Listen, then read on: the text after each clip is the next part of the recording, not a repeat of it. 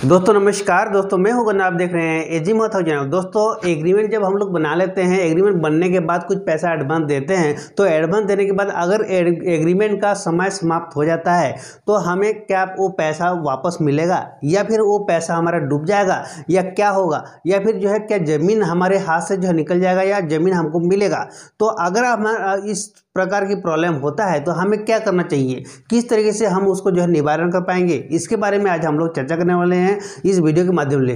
क्योंकि दोस्तों एग्रीमेंट एक बहुत ही काफ़ी बड़ा महत्वपूर्ण चीज़ होता है, जब भी हम लोग ज़मीन जायदाद खरीदते हैं तो सौदा जब होता है तो हम ज़रूर जो है एग्रीमेंट बनवाते हैं। और जब एग्रीमेंट बनवाते हैं तो उस समय क्या होता है कि कुछ पैसा एडवांस देते हैं जो बेचने वाला व्यक्ति को, जिनका ज़मीन ज़मीन मालिक को हम कुछ पैसा एडवांस देते हैं। तो वो पैसा जब एडवांस देते हैं, मान लीजिए कि आगे चल के जब उसका समय समाप्त हो जाता है, ठीक है? या फिर जो है उसका, मान लीजिए उसके पिताजी के नाम पर ज़मीन था, और जो है उसका पिताजी को ख़त्म हो गया, उनके बेटे लोग का हक हो गया तो क्या वो पैसा हमें मिलेगा या फिर नहीं मिल पाएगा?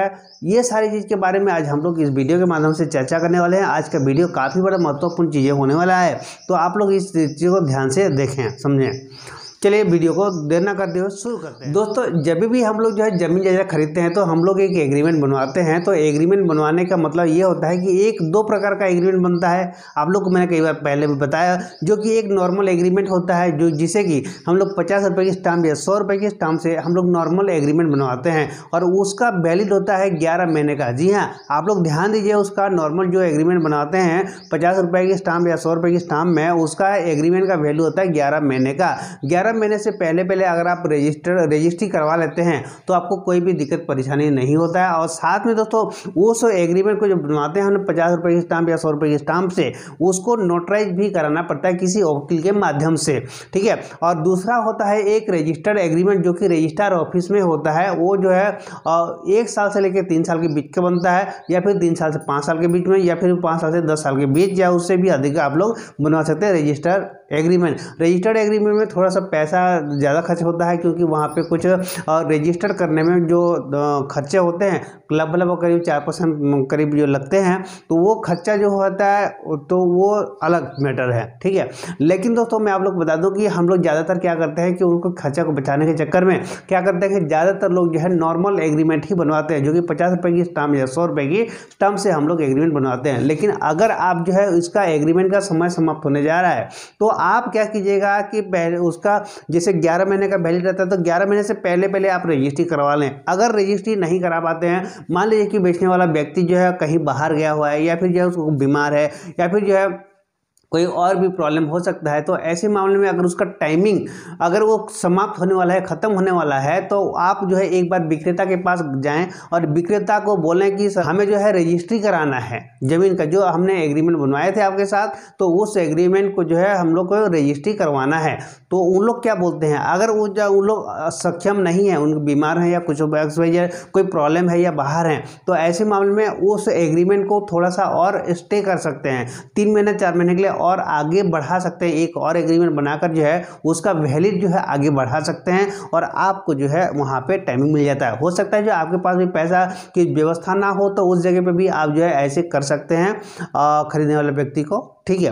तो इस तरीके से होता है। लेकिन दोस्तों, मान लीजिए कि एग्रीमेंट बन गया है ठीक है? और आप खरीदने वाले व्यक्ति हैं और आप बोल रहे हैं कि हम अब इस ज़मीन को नहीं लेंगे बोल रहे हैं तो उस जगह में क्या होगा कि ज़मीन मालिक क्या करेगा? आपको जो है, अब ज़मीन को बेचना था तो आपको क्या करना होगा? उस समय जो है, आपका जो एडवांस दिया हुआ पैसा उस समय जो है, डूब सकता है, डूब जाता है, ठीक है? तो इस तरीके की प्रॉब्लम भी आता है और अगर बेचने वाला व्यक्ति अगर मना कर देता है कि मैं अब ज़मीन आप नहीं दूँगा बोलता है तो उस जगह पर आप क्या करेंगे कि अगर आपको तो ज़मीन ज़रूरत है और आपने जो है ऑलरेडी उनको एडवांस दे रखा है, उनको किसी ने भड़का दिया कि बोला कि जो है दोस्तों ये ज़मीन जो है ये ज़्यादा में बिकने वाला था, आपने कम में सौदा क्यों कर दिया?